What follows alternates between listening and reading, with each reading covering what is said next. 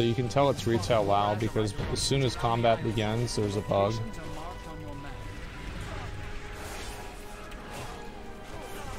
I get disarmed by a moonkin into a disarm by a, a rogue. There's the evasion. The bear tank has a quarter of a million health, so this is just not going to go anywhere.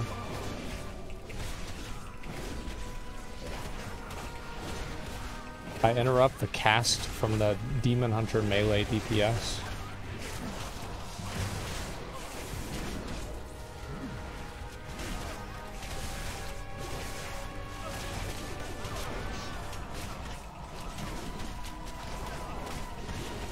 This is one player, by the way.